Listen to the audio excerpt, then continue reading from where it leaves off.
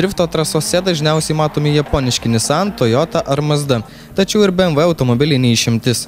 Skonio reikalas, jums labiau patinka Azijos ar vokiška virtuvė. Nepaisant to, kokį automobilį vairuojate, jo įdaras gali būti bet koks.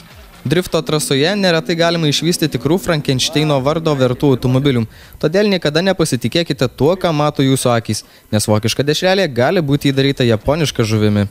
Neretas atvejis šonaslydžio pasaulyje, kad vienos markės automobiliai sumontuojamas kito gamintojo variklis, taip pat pavarų dėžė ar kiti automobilio mazgai.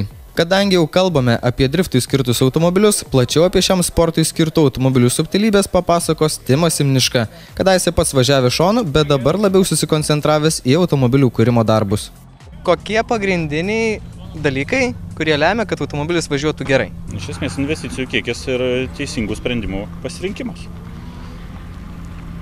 Kaip ir viskas, automobilių sporte remiasi nemažai dalimi pinigus, o antrąją dalimi tavo užsispyrimą ir supratimą to, ką reikia daryti. Nes tikrai yra padaryta daug mašinų, kurios, nu, sakykim, tai persistengta. Per daug pridėta, nežinau, per daug kažkokių sprendimų panaudota, reikalingų, nebūtinų, būtinų, nebūtinų. Nes drifte labai daug nulėmė ne tik automobilis, bet ir pats vairuotojas. Ta nereikia pamiršti.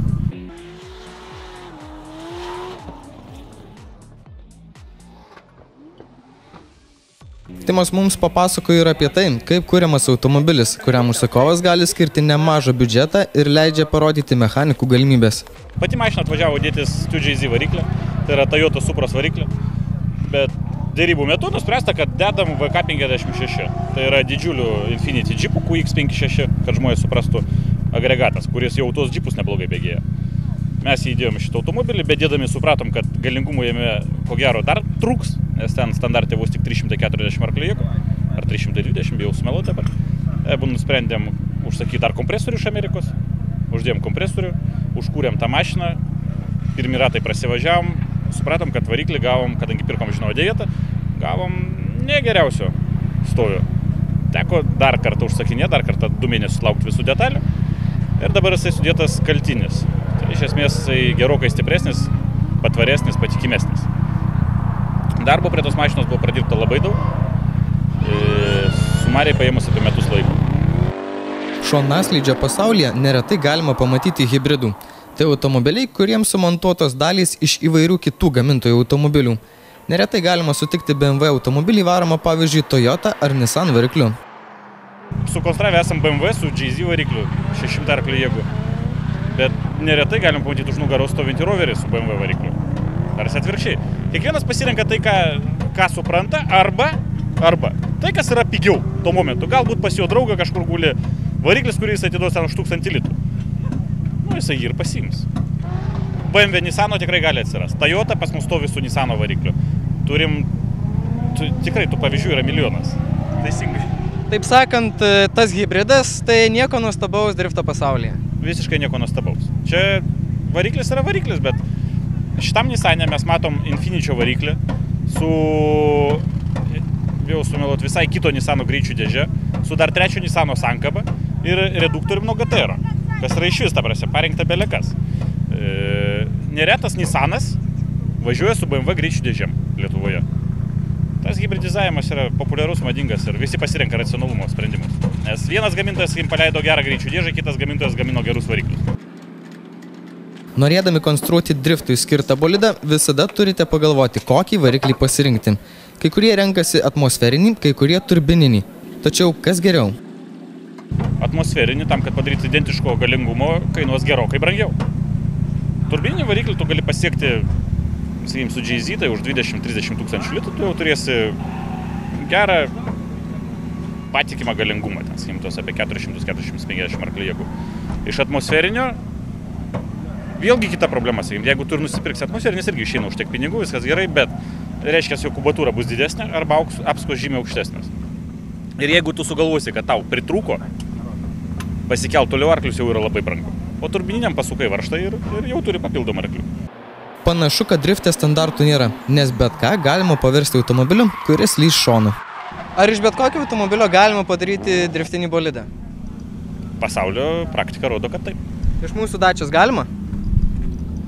Jo, tai būtų ekskluzyvinis driftinis automobilis, bet aš manau, su jūsų pinigais ir mūsų noru padarytume. Kai automobilis paruoštas, jam reikia vairuotojo. Nors nėra nei amžiaus, nei lyties apribojimų, tačiau šios sporto virtuvėje dažniausiai matomi vyrai. Tuo tarpu moterys viską puošia kitaip. Iš pirmo žvilgsnio gali pasirodyti, kad slysti šonu gali beveik bet kas, kas moka važiuoti automobiliu, bet tai tikrai nėra. Kaip ir geras kulinaras, taip ir geras vairuotojas turi mokintis. Norint išmokti slysti, reikia daug laiko ir pastangų. Nemaža dalis vairuotojų, kurie važiuoja šonaslydžio trasoje, yra išmėginę ir nemažai kitų sporto šakų. Kai kurie šonaslydžio vairuotojai stengiasi suderinti kelis skirtingus važiavimo ingredientus. Nemaža dalis vairuotojų yra išmėginę ralio ar žydinių lenktynių virtuvę. Viskas paprasta. Norint būti geru drifto vairuotoju, turi žinoti ir mokėti daugiau, nei kaip tik spausti akceleratorių. Važiuojant žiedinėse lenktynėse visada turi jausti, kuomet automobilis sukimba su asfaltu. Ralyje neretai reikia mokėti slysti šonu, nes kitaip avarija neišvengiama. Tuo tarpu driftas yra per vidurį. Norint gerai važiuoti, reikia pajusti ribą tarp sukibimo ir praslydimo, tinkamu metu paspausti stabdį, pasukti vairą. Apie subtilybės vairuojant driftą automobilį papasakos ne vienerius metus padangų likučiai žiūrovus vaišinantis Andrius Vasiliauskas.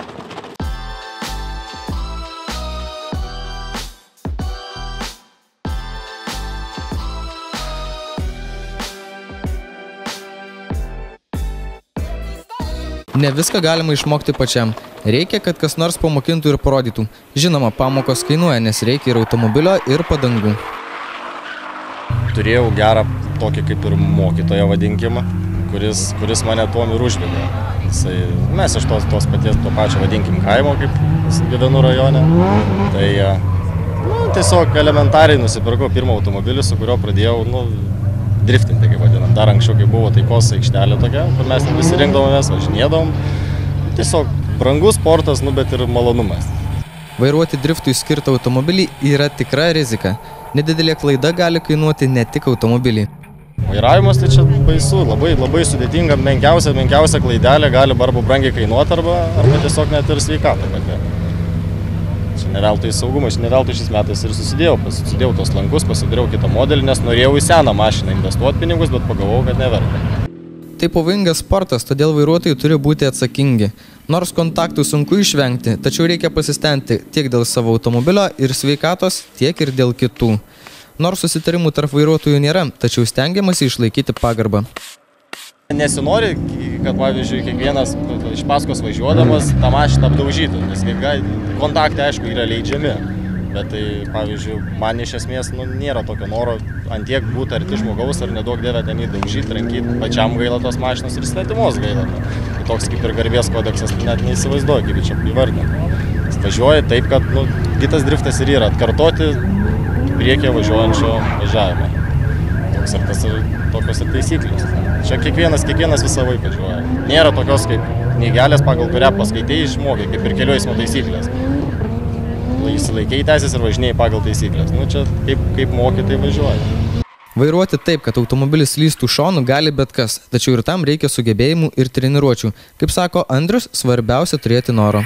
Jeigu tu nori, tu gali viską. Tu turi draugą, kuris, kuris šiai dienai irgi, mes ten darėm, jie mašiną ilgą laiką, va, nu, jisai per daug nevažinėjęs jokiose varžybose, bet va, atsimenu, atvažiavom pirmą treniruotę, tai labai puikiai ten.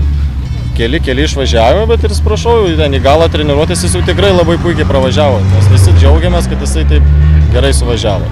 Jeigu, jeigu jisai išmoko, tai aš manau, kad ir kiti gali. Galbūt ne visiems padangų svilinimas atrodo naudingas, tačiau iš to galima išgauti ir kasdienės naudos. Tam tikri įgauti įgūdžiai praverčia ir kasdieninėse situacijose. Visose srityse ir ralyje, ir visokiose driftuose, ir lenktynėse tie tokie įgauti įgūdžiai tikrai padeda ir praverčia žmonėms. Tiesiog į viską kitaip atsižvelgi, ta tokia reakcija galbūt geresnė žmogaus yra. Kita kartą galbūt, jeigu matai kažkokią avarinę situaciją, ją lengviau yra įspręsti negu būtum atsisėdęs žalės ir įsilaikęs teisės ir užsidėti klevo lapą. Praverčia tokie, tokie įgūdžiai, aš manau, galbūt žiemą labiau yra, būtų reikalingi, kaip gaunasi, kaip būna skirtingos važiavimo trasos, slidau, slidų ledas, gal tokios pamokėlės pasivažinėjimų visokie, aš manau, tikrai praverstų kiekvienam. Nors žvelgiant iš šalies, slysti šonu atrodo vienas malonumas, tačiau Andrius pasako ir apie kitą drifto pusę. Apie tai, kad ne viskas taip smagu, kaip gali pasirodyti iš pirmo žvilgsnio. Kiti galvoja, kad tai yra tiesiog malonumas netgi. atsisėdi tą mašiną, daug gazo, daug garso, tų vadinkim daug dūmų, bet e, realiai pasivažinėjus, va, kad ir tokioj va treniruotė, kaip yra šiandien rengiama, tai po dienos, po geros dienos nieko vakare nenori daugiau, tik tai į lovą. Nors gali atrodyti, kad slydimas šonu kaip pravažiavimas dviračiu. Kartą išmokus mokėsi visada. Tačiau persėdus į naują automobilį beveik viską tenka mokintis iš naujo. Prie visko reikia priprasti. Nes, nu, kiekviena mašina vis kitaip važiuoja. Ne? Atsisėdė, atsisėdė kokį Nissan ar ten dar kokį, dar kokį kitą mašiną, tas vėl kitaip jau važiuoja. BMS dar kitaip važiuoja. Prie galingumų prie visko reikia priprasti. Nėra taip, kad atsisėdai į vieną mašiną, prie jos pripratai ir atsisėsi į dar kitą ir tu važiuosi lygiai taip pat. Taip, taip manau, kad nebūna. Kaip ir bet kuri kita sporto šaka, taip ir driftas turi tam tikras taisyklės, kurių reikia laikytis. O važiavimą vertina teisėjai, kurie kaip geri degustatoriai paragauja ir pasako, ką mano. Vienas labiausiai patyrusių drifto degustatorių Lietuvoje yra Mantas Kuzmarskis, kuris kiek plačiau papasakos apie tai, kaip vertinami vairuotojai ir už kokius prieskonius jie gauna įvertinimą. Čia driftė ieškomi ne greičiausiai, o taip vadinam kiečiausiai coolest vairuotojai, kurie moka geriausiai kontroliuoti automobilį, kuris jau yra už sukibimo ribos. Pagrindiniai dalykai, kuriuos turi įvykdyti vairuotojas, tai greitis ir tikslumas. Kiekvienose varžybose vis suprantu vis daugiau tų smulkmenų, kuriuos reikia atkreipti dėmesį. Aišku, pagrindinė yra ta agresija, vaizdas, kaip atrodo automobilis judėdamas. Ta, į tai įeina greitis judėjimo, slydimo pats greitis. Nebūtinai ten, tarkim, į pirmą poskį atvažiavo kokiu greičiu. Vidutinis visos trasos įveikimo toksai tas greitis vizualiai vertina kaip arti prie kliučių privažiuoja. Tarkim, driftė pusę metro yra daug. Tarkim, ten, jeigu stovi kuoliukas arba siena, tai arti yra 10 cm arba tu ją truputėlį lėti.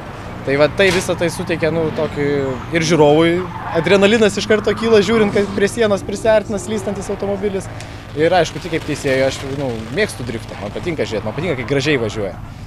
Ir aišku, svarbiausias elementas yra poriniai važiavimai. Poriniai važiavimai tai jau yra tiesiog šokis kartu. Tas iš paskos važiuojantis vairuotojas turi idealiai prisitaikyti prie priekyje važiuojančio. Nu, tai yra sudėtinga.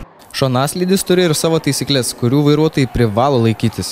Iš tikrųjų, tai turėtų reiktų parašyti turbūt tomą knygos nemažą, kad taip viską detaliai išdėstyti visas tas mintis, kas per, per, per, per, per, per, per tą praktiką yra buvę.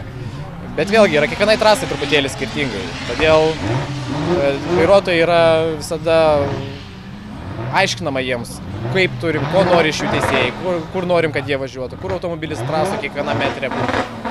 Suprasti reikia driftą. Tai yra garbingas sportas. Vairuotojai turi gerbti vienas kitą. Taip, norėčiau sakyti, kad tai yra jeigu Europoje tai būtų, turėtų būti riteriškas požiūris į savo priešininką, kadangi skilės vis tiek daugiau iš Japonijos, tai samuraiškas. Turi žiūrėti priešininkui į akis ir sakyti, aš galiu už tave geriau. Deja, bet ne visada tinkamai sudėlioti ingredientai užtikrina skanų reginį. Neretai viena nedidelė klaida, per daug įbertų prieskonių gali kainuoti labai brangiai. Nesuvaldžius dideliu greičiu slystančio automobilio, neišvengiamos avarijos, kurios gali baigtis ne tik automobilio nurašymu, tačiau rimtais sužalojimais. Būtent dėl šios priežasties drifto saugumo reikalavimai išties aukšti.